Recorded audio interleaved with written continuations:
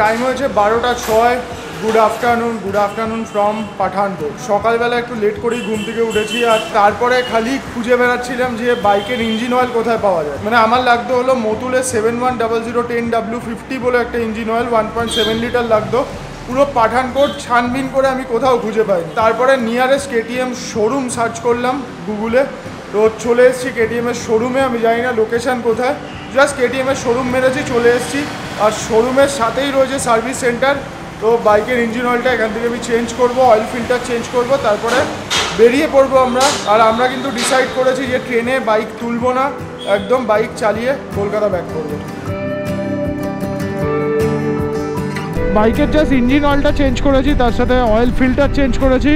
তো সব কিছু মিলিয়ে ষোলোশো টাকা বিল হয়েছে। মতুলের ইঞ্জিন অয়েলটার দাম ছিল ফিফটিন ফর্টি ফাইভ তো ষোলোশো তিরিশ টাকা পেমেন্ট করে দিয়েছি। তারপরে কোনো একটা রাস্তা দিয়ে ভেতর ভেতর দিয়েছে। আমরা এনএইচ ফর্টি ফোরে উঠে গেছি আবার। মানে ইন্ডিয়ার লংগেস্ট হাইওয়ে হলো এই NH forty four Kanyakumari to Srinagar, Jammu and Kashmir. NH forty four দিয়ে গিয়ে চণ্ডীগড় আম্বালা পেরিয়ে আমরা ইস্টার্ন পেরিফেরাল এক্সপ্রেসওয়ে নিয়ে নেব নয়ডার জন্য। সব কিছু তোমাদের আপডেট দেবো, কিন্তু আগে খেতে হবে।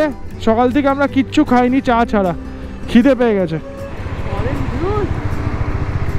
কি খোলায়? হ্যাঁ জুসও খাব, চল আগে।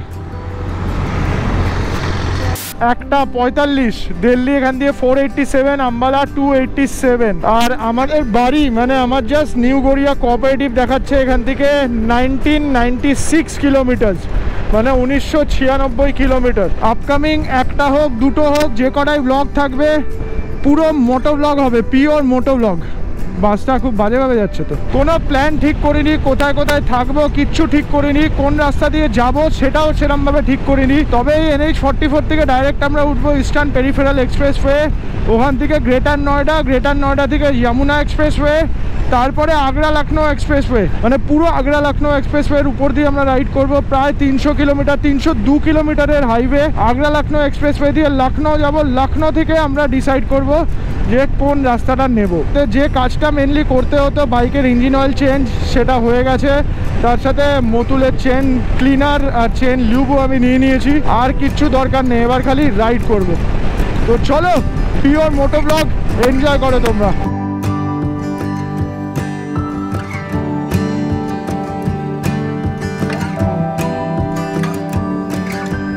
দিল্লি এখান থেকে থ্রি টোয়েন্টি এইট আর আম্বালা ওয়ান টোয়েন্টি এইট এখান থেকে আবার থ্রি টোয়েন্টি নাইন দেখাচ্ছে। আর এখন টাইম হয়েছে হলো চারটে তিন, আর আমরা নন স্টপ এখনও অবধি প্রায় একশো পঞ্চাশ কিলোমিটার রাইড করে ফেলেছি, খালি মাঝখানে তেল ভরেছিলাম একবার। ঠিক এই ফ্লাইওভারটা ওঠার আগেই একটা রাস্তা বাদিকে চলে গেল, ওদিকে লেখা ছিল হলো চণ্ডীগড় মোস্ট প্রবাবলি আমরা চণ্ডীগড়কে বাইপাস করে বেরিয়ে যাব। মোস্ট প্রবাবলি না শিওরলি আমরা চণ্ডীগড়কে বাইপাস করে বেরিয়ে যাব। আম্বালার উপর দিয়েই আমরা যাব। আম্বালা রেলওয়ে স্টেশন আমরা ডান দিকে দেখতে পাবো।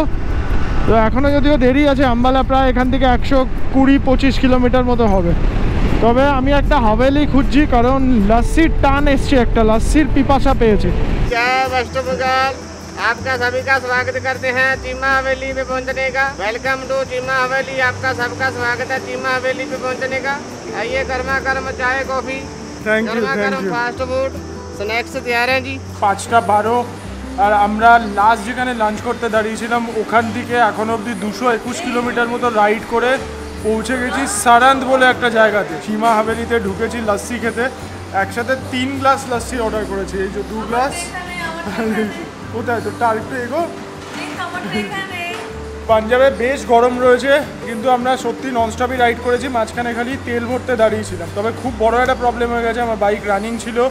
আর কোথা থেকে একটা বলতা উড়ে এসে আমার ঘাড়ের মধ্যে কামড়ে দিয়েছে। খুলে গেছে? বেশ জ্বালা করছে, তার সাথে ব্যথাও করছে, সহ্য করে যাচ্ছে আর কি বলব।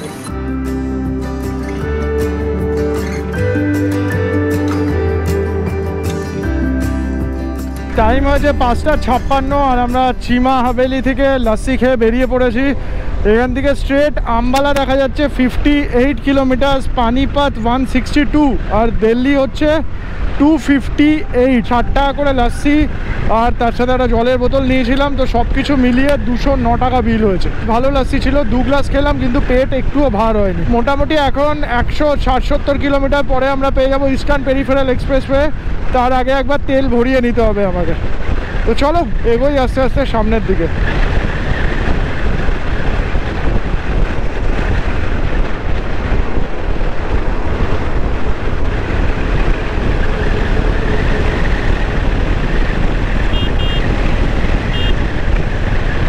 পাঞ্জাবের গ্রাম, দিগন্ত বিস্তৃত ক্ষেত।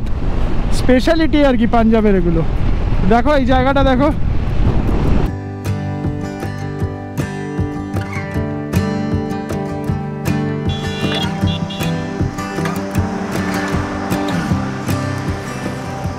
আমরা একটাই ক্লাস বলেছি, কারণ জানতাম না কিরম টেস্ট হবে। তো বনি বলছে, খুব সুন্দর টেস্ট দেখি আমি আগে টেস্ট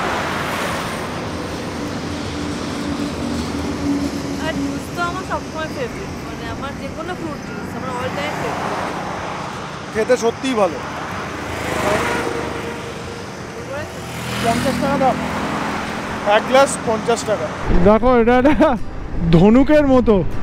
আপকা স্বাগত করতে হরিয়ানা আম্বালা। ডান দিকে আম্বালা ক্যান্টনমেন্ট রেলওয়ে স্টেশন। প্রথমে ভেবেছিলাম এই আম্বালা থেকে ট্রেনে উঠে যাব। বাইক ট্রেনে পার্সেল করে দেবো তো টিকিট চেক করছিলাম তারপরে ভাবলাম যে এই বাইকটা এত বড় বাইক ঠিকমতো ট্রেনে তুলতে পারবে তো যদি কিছু ড্যামেজ করে দেয় আর এক একটা পার্সের যা দাম কেটিএমের তো লাস্ট অব্দি ডিসাইড করলাম যে না চালিয়েই ফিরি আর কি কুণ্ডলি কিতনা আগে কুণ্ডলি कुंडली वाटर तो मतलब होगा यहाँ से सौ के आसपास सौ किलोमीटर मतलब कुंडली से ईस्टर्न पेरिफेरल चाहिए होता है तो कुंडली से ही होगा ना वो किसी में सर ईस्टर्न पेरिफेरल नोएडा के लिए नहीं नहीं सर वो ये हरियाणा में ही सोनीपत क्रॉस करेंगे ना हाँ क्रॉस करने के पाँच सात किलोमीटर के बाद आ जाता है वो हाईवे अच्छा ऊपर चले जाएंगे मतलब इधर से कितना होगा फिर यहाँ से होगा सत्तर बहत्तर किलोमीटर के आसपास आप ও হাইওয়ে এখান দিয়ে খেলাম আমরা লাল চা আর একটু কিছু স্ন্যাক্স স্ন্যাক্স বলতে ওই চিপসের প্যাকেট ঠিক আছে মনি চলো ওঠো ওঠো ওঠো দেরি করো না আর দেরি করো না ওঠো যারা আমি ইনস্টাগ্রামে স্টোরি দিচ্ছি ইনস্টাগ্রামে স্টোরি যারা মোটামুটি আমাকে ফলো করতে তারা জানে যে আমি মানে একদম অ্যাক্টিভ ইনস্টাগ্রাম হ্যাঁ। তো কমেন্ট করছে যে পরের যে কোনো স্টোরি পাচ্ছি না তিন দিন ধরে খুব টেনশনে পড়ে গেছিলাম। শ্রাবণী আন্ডারস্কোর ট্রাভেলগ আর আমার হলো বৈদিক আন্ডারস্কোর সি টাইম হচ্ছে হলো নটা পঁচিশ। চলো বস বস বস বসে বসে কর না ওটা। এখান থেকে লাল চা খেয়ে আমরা বেরিয়ে পড়লাম। এখন অবধি আমাদের গ্রেটার নয়ডার জন্য ওয়ান থার্টি এইট কিলোমিটার্সের জার্নি করতে হবে, ঠিক এই স্পট থেকে। আর গ্রেটার নয়ডাতে আমরা অলরেডি একটা হোটেল বুক করে নিয়েছি গোয়াই ভিভো থেকে। ওই হোটেলেরই লোকেশন মেরেছি, এখান থেকে ওয়ান থার্টি এইট কিলোমিটার তো পানিপাত থেকে আমরা সোনিপাতে যাব সোনিপাত থেকে আমরা ইস্টার্ন পেরিফেরাল এক্সপ্রেস হয়ে নিয়ে নেব গ্রেটার নয়ডার জন্য। গ্রেটার নয়ডার পারিচকাই হোটেলটা নিয়েছি আর কি। ওখান থেকে যমুনা এক্সপ্রেস ওয়ে মানে যে কানেক্টারটা রয়েছে, সেটা হলো ফাইভ পয়েন্ট এইট কিলোমিটার তো কালকে আমরা যমুনা এক্সপ্রেস ওয়ে ধরবো, তো হোটেল থেকে বেরিয়ে ছ কিলোমিটারের মধ্যেই আমরা উঠে যাব যমুনা এক্সপ্রেস ওয়েতে তো চলো আস্তে আস্তে এগোই সামনের দিকে। এখান থেকে তিরিশ পঁয়ত্রিশ কিলোমিটার আগেই একটা কানেক্টার পাবো, সেখান থেকে আমরা ইস্টার্ন পেরিফেরাল এক্সপ্রেস ওয়েতে উঠে যাব। চলো ইস্টার্ন পেরিফেরাল দিয়ে বেরিয়ে যাই গ্রেটার নয়ডার দিকে। এক, দুই, তিন, চার। মানে এক একটা সাইডে চারটে করে লেন মানে এইট লেনের হাইওয়ে টোটাল এটা। এই রাত্রিবেলায় এই হাইওয়ে দিয়ে যা স্পিডে গাড়ি চলছে না, আমার ভয় লাগছে আর কি। মানে একশো কুড়ি স্পিড লিমিট একশো কুড়ি স্পিড লিমিট ভাবা যায়? বাসের ছবি দেওয়া ছিল হান্ড্রেড স্পিড লিমিট বাসের জন্য। যদিও বাইকের লেন একদম বাদিকে, কিন্তু আমি সব সময় মিডিল দিয়ে যাই, কারণ কোনো অবস্টাকে আসলে যাতে দুদিকে কাটানোর সুযোগ পাই আমি। এই দেখো এই দেখো এই দেখো। গাড়ির জন্য হান্ড্রেড টোয়েন্টি বাসের জন্য হান্ড্রেড আর ট্রাকের জন্য হচ্ছে এইটটি স্পিড লিমিটটা ভাবো খালি। এখন টাইম হয়ে গেছে রাত একটা ছত্রিশ আর আমরা সাড়ে এগারোটা নাগাদ নয়ডা এসে পৌঁছেছি মানে গ্রেটার নয়ডা। আর আজকে ইস্টার্ন পেরিফেরাল এক্সপ্রেসওয়ে থেকে নামার পর আমাদের সিটির মধ্যে দিয়ে প্রায় অনেকটা রাস্তা আসতে হয়েছে। ধরে নাও ষোলো সতেরো কিলোমিটার আসতে হয়েছে। আর এখান থেকে যমুনা এক্সপ্রেসওয়ে ডিস্টেন্স দেখাচ্ছে ফাইভ পয়েন্ট এইট কিলোমিটার কালকে আমরা তাড়াতাড়ি বেরিয়ে যেতে পারব। যদি জ্যাম না থাকে তো। আজকে আমরা পাঠানকোট থেকে রাইড শুরু করেছিলাম পৌনে দুটো নাগাদ।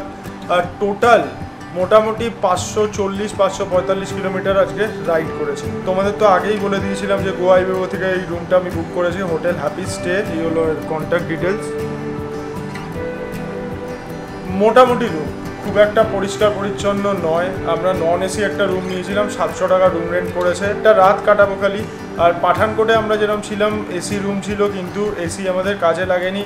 তো ভেবেছিলাম দিল্লি বা নয়ডাতে হয়তো এসি লাগবে না, কিন্তু এখন মনে হচ্ছে এসি রুম নিলেই ভালো হতো, একটু গরম রয়েছে। এখন একটু জাস্ট কপি করে নেব ডেটাগুলো আর তার সাথে অল্প একটু এডিটিং করব। আর চোখ না পুরো ঢুলে আসছে, তারপরে ঘুমিয়ে পড়ব। বেশি কিছু বলার নেই, তোমাদের যদি কিছু করার থাকে ভিডিওর উপর মানে লাইক সাবস্ক্রাইব তার সাথে বেল আইকন প্রেস আর তার সাথে যদি মনে হয় যে শেয়ার করা যেতে পারে, তো শেয়ার করে দিতে পারো। তো চলো আজকের মতো ব্লগটা এখানেই শেষ করছি। Tata take care good night from greater Noida